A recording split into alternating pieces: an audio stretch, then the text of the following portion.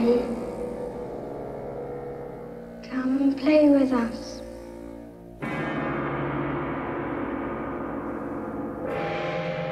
Come and play with us, Stanley. Some call it a masterpiece. Others call it a bastardization of a classic novel. It's referenced in countless other movies and TV shows and given many viewers nightmares. Its meaning is often debated and picked apart in film circles, and the context in which it came to be is one rife with controversy. I'm talking about Stanley Kubrick's adaptation of Stephen King's hit novel, The Shining. It's a film that has been a staple in popular culture since it came out in 1980. Yet, its legacy is not without plenty of scandals. The creation of The Shining is one riddled with chaos, misfortune, conflicting life philosophies, and dueling egos. We're exploring all of that and more in this episode of Production Tales from Hell.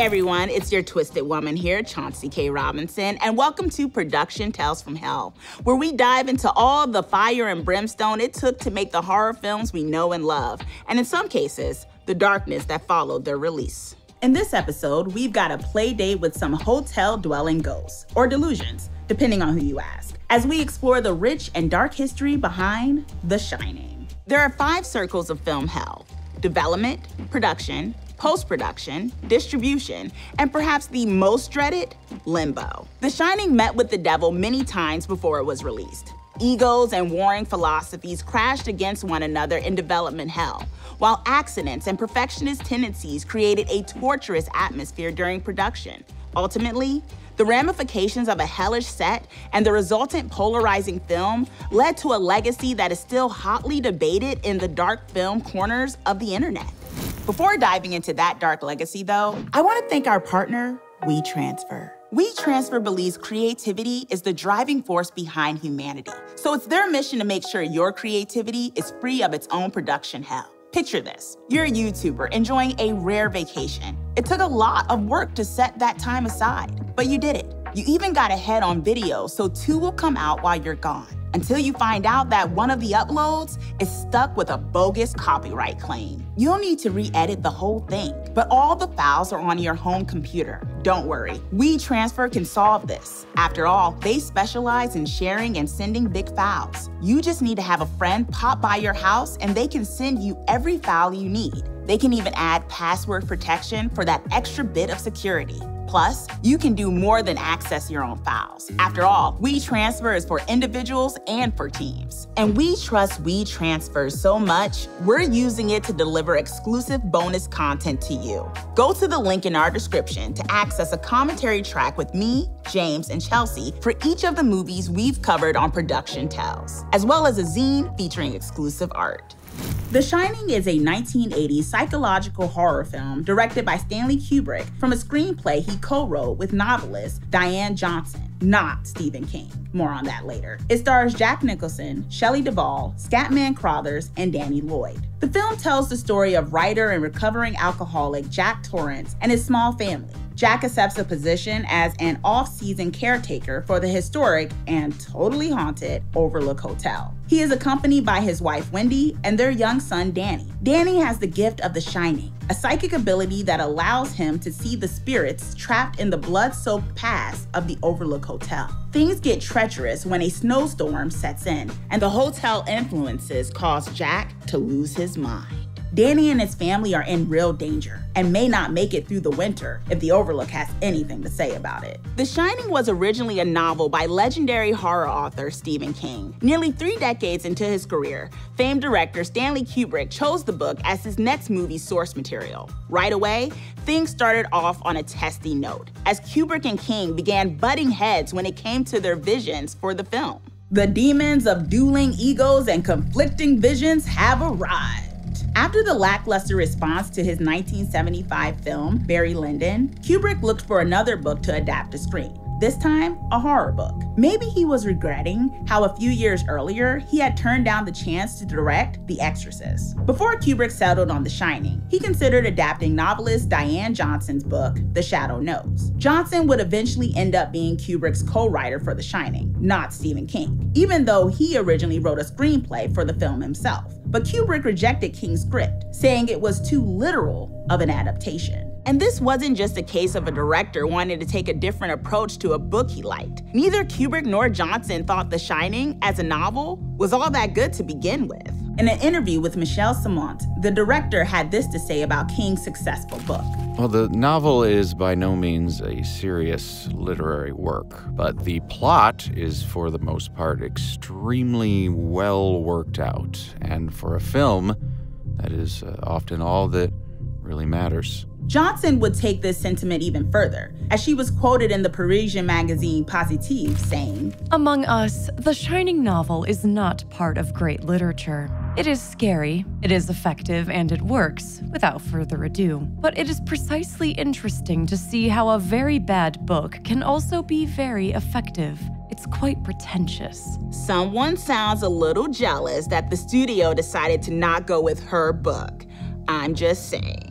The casting of the film only deepened the divide between visions for the project. When it came to the pivotal role of Jack Torrance, Kubrick had Jack Nicholson in mind as his first choice. His secondary picks included Robert De Niro, Robin Williams, and Harrison Ford. Stephen King hated all of them as options, especially Jack Nicholson. King felt Nicholson wasn't right for Jack due to his previous performance in One Flew Over the Cuckoo's Nest. King saw Jack Torrance as an ordinary man driven to madness. He thought Nicholson would spoil that journey, since the audience would already see him as crazy and unstable. King's protests were ignored, since Kubrick made sure that he could contractually make any changes he wanted to King's work, and that the actor for the lead role was not negotiable. Yeah, things were not getting off to a harmonious start at all. Having read the novel, Nicholson suggested Jessica Lange for the role of Jack's wife, Wendy. In the book, Wendy is more of an independent character with obvious inner strength, but Kubrick had a different idea for the Wendy he wanted in his adaptation. The director wanted Wendy to be more submissive in her relationship with Jack.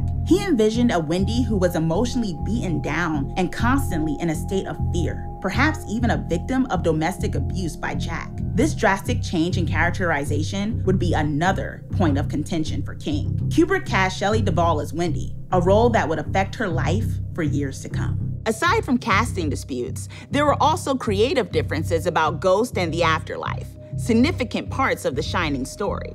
One could argue that the Overlook Hotel is haunted, at least in King's adaptation, where it most certainly is. This was another place where King and Kubrick butted heads, as the director leaned more towards the psychological when it came to the story's danger. Years later, King would recall a phone call he had with Kubrick when the director was first working his way through the book. The author recalled Kubrick saying, Well, don't you find that all uh, ghost stories are optimistic? Uh, don't you think so? Because it means that the presupposition is that if there are ghosts, there's an afterlife.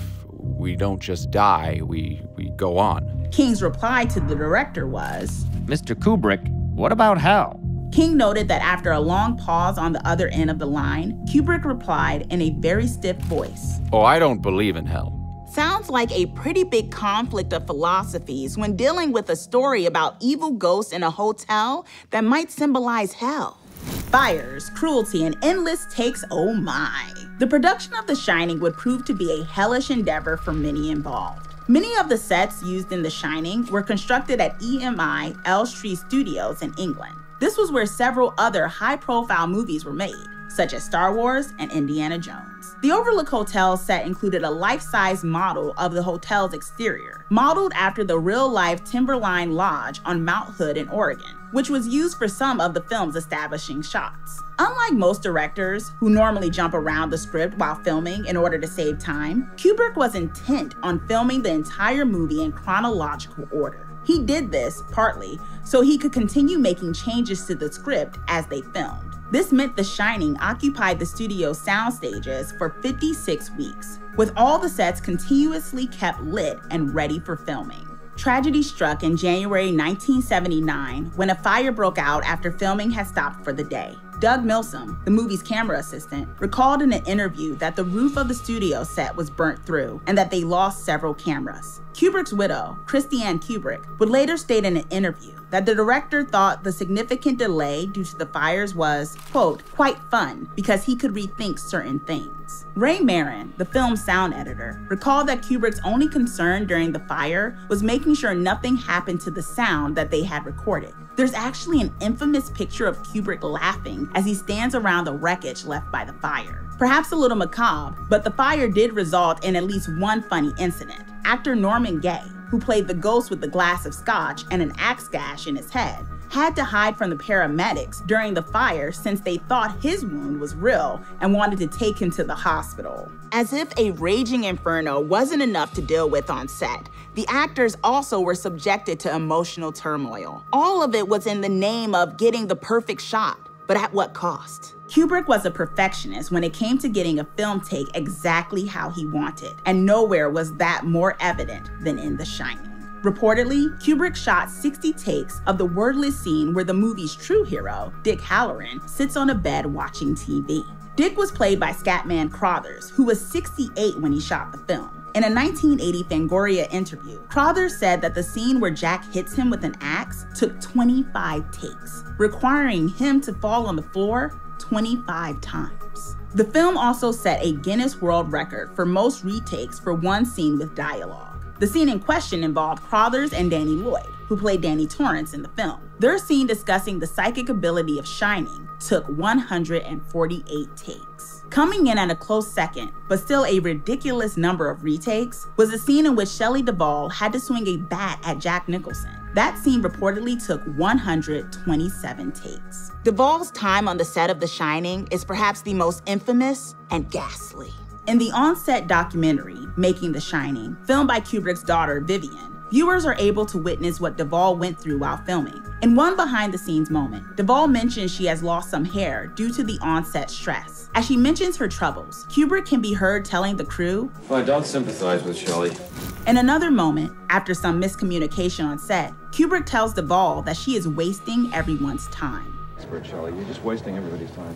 In an interview with the legendary film critic Roger Ebert, conducted months after the premiere of the film, Duvall opened up about her experience.